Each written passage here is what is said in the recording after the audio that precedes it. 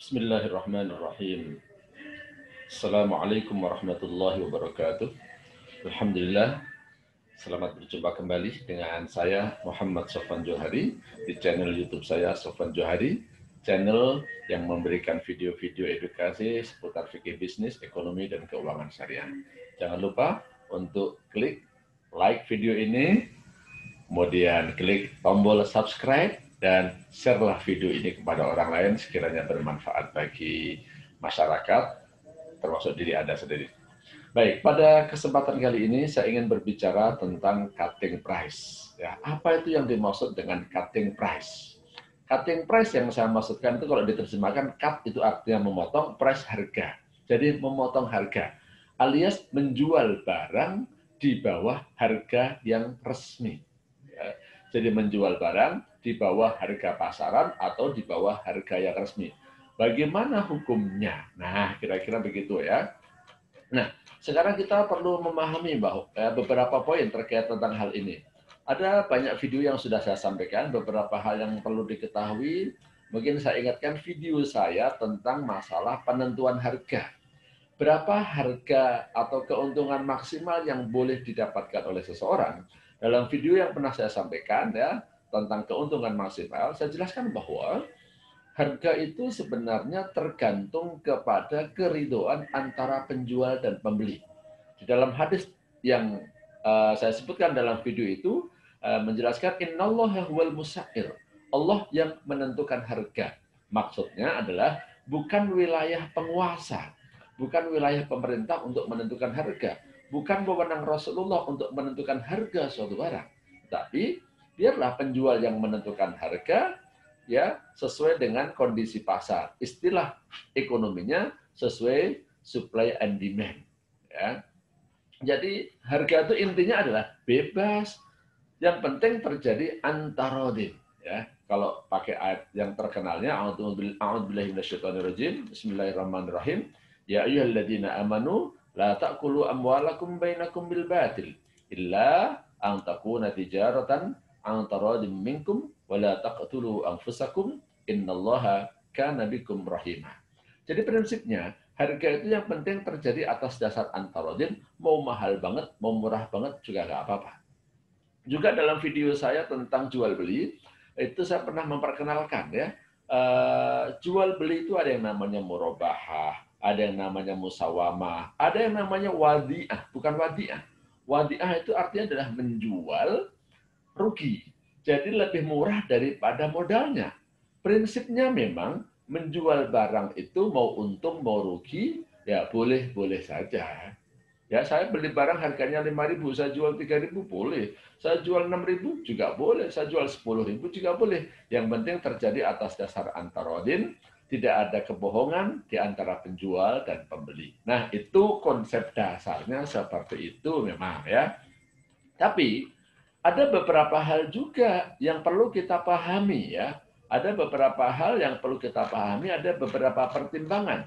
Yang pertama, eh, bahwa di dalam Islam berbuat dolim itu nggak boleh. La tadlimuna wa la tudlamun. Jangan kamu berbuat dolim dan jangan kamu mendolimi orang lain. Jangan kamu menyakiti dan jangan kamu disakiti. Jangan kamu menyusahkan orang lain dan jangan kamu disusahkan orang lain. Nah, jadi ini pandangan yang apa pertama harus kita pertimbangkan. Jadi ternyata di dalam Islam itu ada larangan berbuat dolim. Yang kedua, juga ada hadis yang memerintahkan agar kita itu memudahkan orang lain. Memudahkan urusan lain, orang lain dalam urusan jual beli. Kalau jual, ya jangan nyusahin orang. Kalau beli, ya jangan nyusahin orang. Kalau membayar utang juga jangan nyusahin orang lain. Ini dalam hadis yang diriwayatkan oleh Imam Bukhari, An Jabir ibni Abdullah radhiyallahu anhu anna Rasulullah sallallahu alaihi wasallam qala rahimallahu rajulan samhan idza wa idza ishtara wa idza iqtada.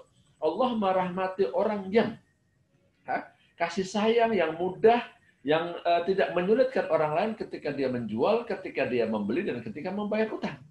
Jadi kalau kamu jualan, jangan nyusahin orang lain, jangan nyusahin pembeli dan jangan nyusahin penjual yang lain juga. Ya. Ketika kita menjual harga di bawah harga pasar, mungkin bagi pembeli dia senang, itu memudahkan. Tetapi ini juga bisa berpotensi eh, ya punya dampak menyusahkan orang lain.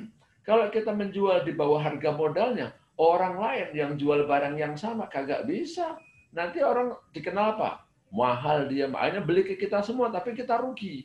Nah kalau kita modalnya banyak, rugi nggak apa-apa. Yang lain orang mati. Nah itu kan, yang lain orang lain nggak bisa jualan lagi. Saya rugi nggak apa-apa. Ada yang motifnya seperti itu, berarti berbuat dolim. ya. Tapi kalau suatu saat kita beli motor harganya 10 juta, kemudian karena ada musibah kita jual 5 juta di bawah harga pasar karena darurat, ya ini mungkin kasusnya berbeda. Makanya tadi saya katakan beberapa pertimbangan tentang cutting price ya. Kemudian juga ada ayat yang memerintahkan kepada kita agar kita tuh selalu mematuhi janji, mematuhi akad. Yaitu firman Allah Subhanahu wa taala, A'udzubillahiminasyaitonirrajim ya ayyuhalladzina amanu aufu bil uqud. Wahai orang-orang yang beriman, penuhilah akad-akad janji-janji itu. Nah, ini beberapa pertimbangan yang ingin saya sampaikan terkait ya uh, cutting price. Cutting price itu bisa terjadi dalam transaksi perdagangan bebas, misalnya kita jual beras, jual baju, jual motor, ya, jual apa lagi misalnya jual komputer, jual laptop. Ini perdagangan yang bebas itu bisa terjadi cutting price. Seseorang sewaktu-waktu suatu saat boleh jadi dia akan menjual di bawah modalnya dan dia rugi. Tapi ada juga cutting price yang dilakukan oleh seorang agen, oleh seorang misalnya apa? makelar atau oleh seorang karyawan atau oleh seorang anggota dalam industri dalam bisnis multi level marketing atau dalam uh, eh, multi level marketing syariah yang disebut dengan PLBS, penjualan langsung berjenjang syariah. Saya kira ini kondisinya berbeda ya, kondisinya berbeda sehingga Allah alam ya untuk menjawab pertanyaan-pertanyaan dari masyarakat seputar hal ini, saya buat video ini, maka kira-kira saya sampaikan begini, kira-kira bagaimana nih hukum uh, cutting price ya? Kira-kira begini, kalau barang tersebut barang yang kita jual adalah barang yang kita sendiri yang memproduksi, kita membuat baju, kita membuat mie, kita membuat lontong, kita membuat gorengan. Kemudian terjadi persaingan yang sempurna. Artinya orang itu kalau mau beli produk seperti yang produk seperti produk yang kita jual, orang bisa beli di mana aja, banyak yang mau beli lontong seperti lontong saya, yang mau beli gorengan seperti gorengan saya, beli baju seperti baju saya, dia bisa beli di pasar mana aja, banyak yang menjualnya.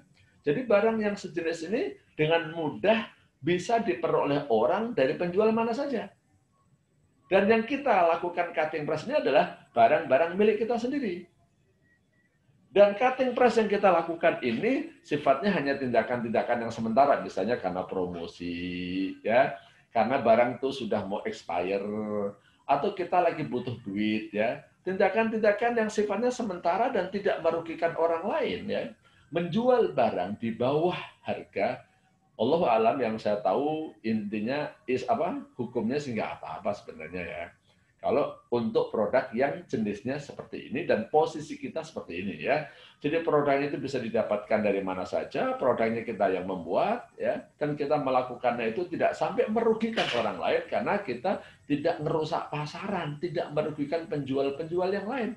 Kita ini melakukannya hanya sifat sementara, insya Allah nggak apa-apa. Tetapi akan berbeda halnya kalau kita sebagai agen, sebagai penyalur, kita ini sebagai wakil yang menggunakan akad wakalah. Kalau kita sebagai wakil yang menggunakan akad wakalah sebagai penyalur, sebagai agen, sebagai calo, ya, broker, perantara, kita kan terikat dengan perjanjian dengan orang yang punya barang atau yang memproduksi barang tersebut. Kalau ada aturan kesepakatan yang sudah kita setujui, Oke, saya jualin mobil Bapak ya, saya jualin kursi Bapak, saya jualin laptop Bapak. Nanti akan saya jual uh, sesuai dengan ketentuan dari perusahaan. Nah, nanti saya akan mendapatkan komisi sesuai dengan ketentuan perusahaan. Maka, kalau kita sudah menyepakati aturan ini, dan kita mau menjadi wakilnya, dan kita mau menjadi agen atau penyalurnya, maka menurut saya kita wajib mengikuti aturan itu. Kalau kita tidak mengikuti aturan itu, berarti kita tidak memenuhi janji. Berarti kita dosa. Jadi cutting price untuk barang-barang yang posisi kita itu sebagai agen, sebagai penyalur, yang menggunakan akad wakalah, maka menurut saya nggak boleh. Karena itu nanti akan ngerusak harga. Kasihan sales yang lain atau penjual yang lain. Kalau membeli kita kok, dari kita kok kayaknya murah. Ketika membeli dari orang lain kok kayaknya mahal. Akhirnya apa? Pembeli akan memberikan stempel cap bahwasanya kita ini murah nih. Orang lain itu mahal-mahal tuh. Orang lain itu mungkin melakukan exercise markup, menaikkan harga. Padahal kita sebenarnya yang merusak harga. Nah, Nah, sekarang kalau khusus bagi pelaku industri multi level marketing atau industri multi level marketing syariah yang nama lain adalah PLBS, penjualan langsung berjenjang syariah, maka kalau menurut saya ini jelas tidak boleh ya. Jadi cutting price bagi member, bagi mitra, bagi anggota multi level marketing menurut saya nggak boleh. Kenapa? Karena dalam industri multi level yang namanya member itu kan dia harus menyetujui kesepakatan-kesepakatan atau aturan yang dibuat oleh perusahaan. Kalau mau bergabung silakan, kalau nggak mau ya nggak apa-apa.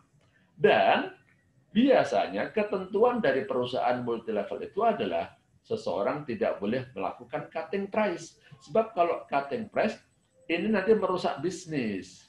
Nama baik perusahaan jadi hilang, harganya jadi nggak jelas dan merusak nama baik member atau mitra yang lainnya. Jadi nanti kesannya kita ini yang paling murah. Yang orang lain mahal, padahal orang lain itu yang menjual secara resmi. Maka kalau bagi pelaku multi level marketing, menurut saya melakukan cutting price ini tidak diperbolehkan karena banyak hal. Satu, kita melanggar perjanjian, kita bisa mendolimi orang lain, ya. Kemudian kita ini bisa merugikan perusahaan juga karena nama baik perusahaannya bisa hancur. Karena apa? Karena harganya menjadi tidak jelas. Gitu ya. Nah, sekarang solusinya gimana? Kalau memang cutting price ini tidak diperbolehkan, saya kepingin memberikan kemudahan kepada pembeli saya, kepada konsumen saya. Terus gimana dong caranya? Nah, ini caranya. Ya untuk menjual suatu produk kita jual dengan harga yang wajar kalau orang kepengen mendapatkan harga yang murah, ya ajaklah orang lain itu untuk menjadi member. Kalau dia jadi member, kan dia bisa membeli langsung dari perusahaan dengan harga yang lebih murah, harga member. Kalau dia nggak mau, saya tuh jadi, misalnya orang itu bilang, saya jadi apa member ngapain? Wong saya itu cuma kepengen memakai saja, saya nggak kepengen menjalankan bisnis. Ya nggak apa-apa, jadi member nanti membeli produk ke perusahaan kan akan mendapatkan harga murah. Nggak jualan nggak apa-apa, gitu kan? Nah, atau solusi lain, kalau kita kepingin ya, kita kepingin nolongin orang lain yang lagi butuh, dia itu bisa apa ya? Dia sebenarnya butuh kepada produk kita, tapi kalau dengan harga segitu nggak bisa, ya udah sedekahin aja. Ya bagikan kepada dia. Sedekah kan nggak rugi dunia akhirat. Sedekah ini di dunia mungkin kita sebagai promosi. Di akhirat ya sedekah kita mengharapkan balasan dari Allah Subhanahu wa taala. Wah kalau sedekah terus yang kita bangkrut dong misalnya. Ya enggak lah, nanti kan bisa caranya. Ini misalnya kalau orang itu sudah membeli kita berkali-kali, ya. Orang membeli dari kita berkali-kali. Sesekali kita kasih produk lain secara gratis dengan harapan besok dia biar membeli produk yang ini. Misalnya dia biasa membeli produk A dan produk B, udah sering. Nah sekali-kali kita kasihlah produk yang C atau produk yang B, gratis pak. Nah ya gratis. Harapannya dia mulai kenal dengan produk C dan produk D. Insya Allah mudah-mudahan besok kok ngerasain kok enak ya. Akhirnya dia akan membeli produk tersebut. Nah inilah kira-kira uh, jawaban yang bisa saya berikan Eh, mengenai hukum cutting price atau menjual harga di bawah pasaran. Jadi berbeda kondisinya, nggak bisa kita generalisir, bisa halal, bisa haram. Pada prinsip dasarnya sebenarnya mubah. Kalau e, memang produk itu kita yang punya jual beli pada pasaran bebas. Tetapi karena kita sebagai agen, sebagai wakil, sebagai member yang terikat, ya akhirnya kita harus mendapatkan ridho dari Eh, pihak lain. Kalau pihak lain itu ridho semua, ya insya Allah nggak masalah melakukan cutting price. Kalau perusahaan membolehkan, kemudian mitra-mitra yang lain membolehkan dan ini tidak merugikan orang lain, insya Allah boleh. Ya, mudah-mudahan jawaban saya ini tepat ya, mudah-mudahan jawaban saya benar di sisi Allah Subhanahu wa taala ya tanpa berniat untuk membela perusahaan atau berniat untuk membela orang. Kan saya kan berbicara secara umum ya. Untuk kemaslahatan bisnis uh, semua orang baik bisnis yang multi level maupun bisnis yang konvensional. Caranya seperti ini loh ya. Jadi janganlah melakukan cutting price yang sampai merugikan orang lain. Tapi kalau melakukan cutting price terhadap produk-produk kita sendiri yang tidak merugikan orang lain insya Allah tidak apa-apa. Mudah-mudahan bermanfaat. Kalau ada salah dari kata-kata saya, jawaban saya, tolong diluruskan ya. Tapi insya Allah inilah yang saya tahu, eh, saya jawab dengan apa ya sesuai dengan ilmu yang saya miliki. Wallahu a'lam bishawab. Kurang lebihnya mohon maaf. Wassalamualaikum warahmatullahi wabarakatuh.